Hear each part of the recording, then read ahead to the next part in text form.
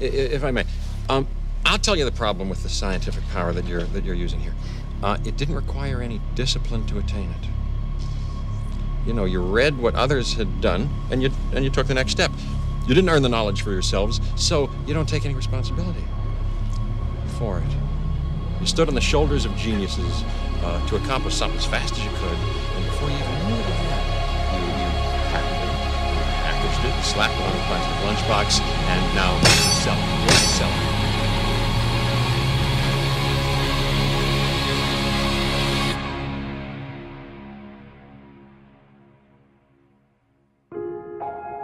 I own an island off the coast of Costa Rica. I've spent the last five years setting up a kind of biological preserve. Really spectacular, spared no expense.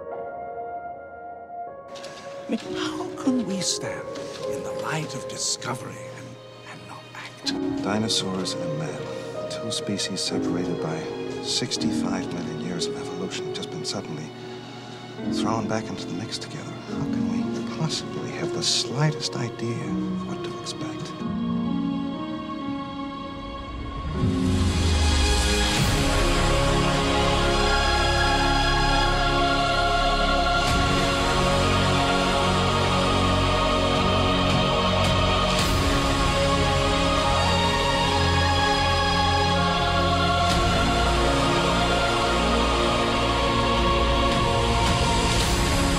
Direction changes, just like a flock of birds evading a predator.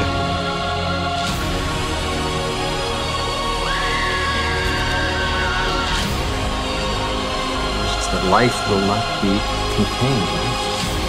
Life breaks free.